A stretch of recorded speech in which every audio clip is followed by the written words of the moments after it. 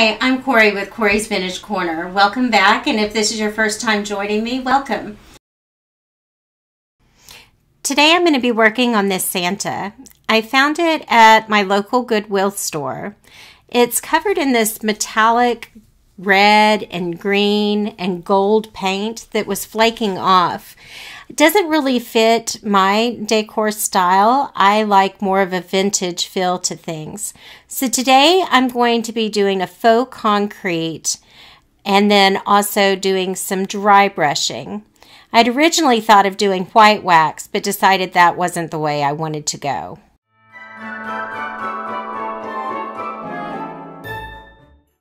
So here I am. I'm just giving it a really good clean. I used some multi-purpose cleaner. It helped to get all the dirt and grime off it, get it ready to paint, and also helped to pull some of the chipping paint that was on there off of it.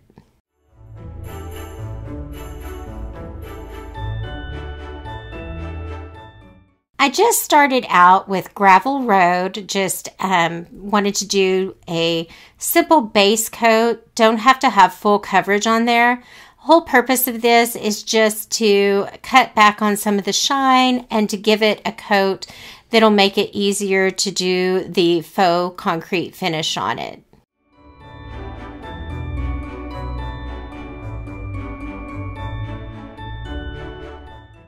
Some of the places were a little more difficult to get to, but I just kind of switched out the brushes in order to get to those um, hard to reach places.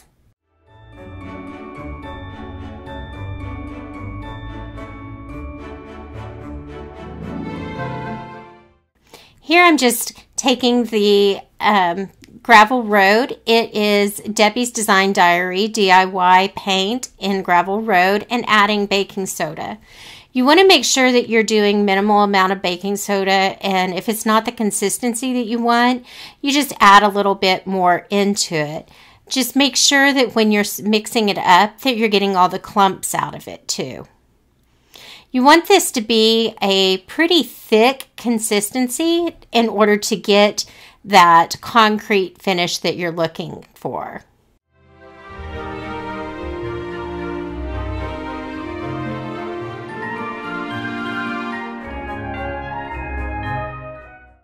So I just used an old um, chip brush here.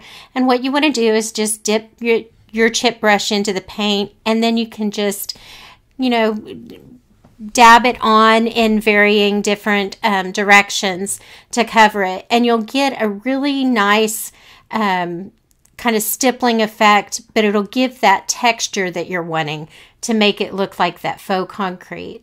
Now, if you don't get full coverage on this, it's really easy to go back over some of those places that that are still showing through. Um, just put a little bit more on your brush and onto it. It gives it more texture too. If there's areas that you have that you'll see here that are kind of more clumpy and goopy, you can just go back over it with your brush and it will even it out a little bit more.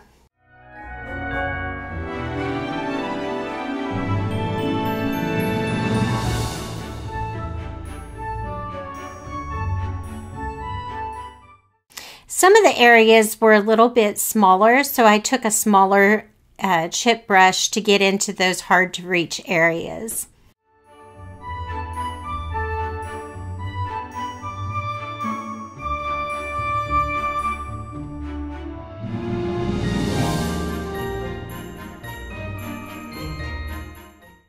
Now once it's dry, I'm going over it and dry brushing in Marquee Red. Again, this is a Debbie Design DIY paint.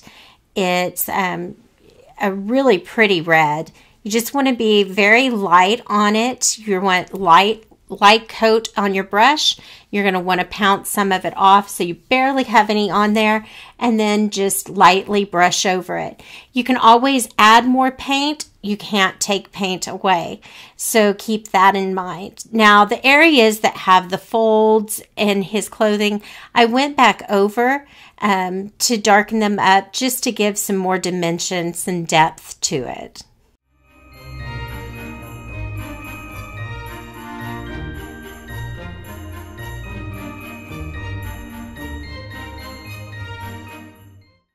So the colors that I used on Santa, again, I used Debbie's Design Diary DIY paint. It's clay based. I used the Marquee Red. And then I also used Blue Iris, Monet's Garden, and Water Lily for the gifts. And then for the black boots, I used um, her color in the black velvet.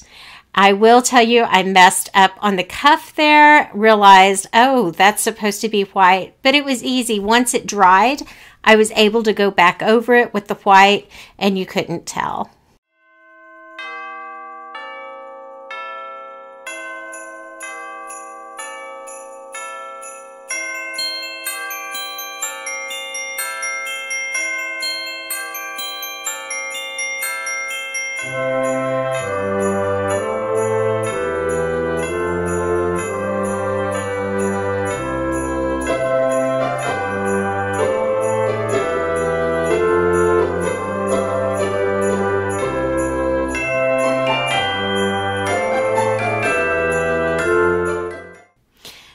There were some designs in the packages that Santa is sitting on that I wanted to pop out a little bit more. So in order to do that, I decided to use the redesigned decor wax in the color Eternal. It's kind of an antique looking gold color that I just use my fingertips to brush on.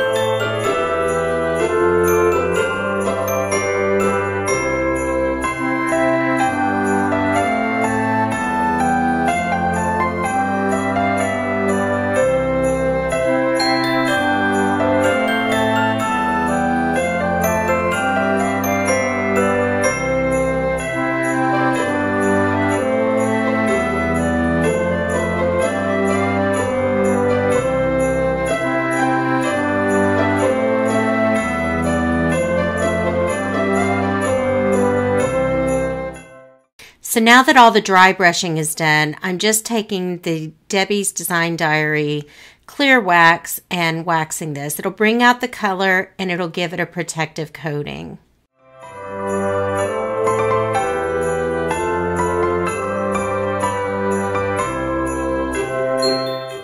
I had to stop for the night and come back the next day to just finish up. So I finished up the clear coat um, on this, just the clear wax.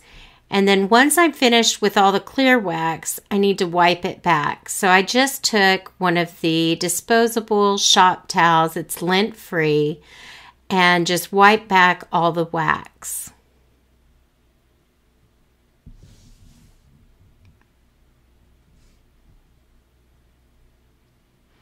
And now it's done.